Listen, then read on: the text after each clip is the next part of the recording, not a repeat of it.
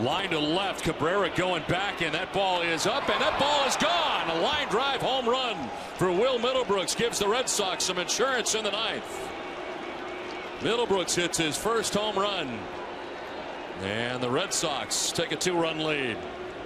Remember, Don, earlier in the ball game, I told you that it, we're pitching Middlebrooks away all night. Well, they make a mistake this time as they come inside, and Middlebrooks with a line drive home run to left field.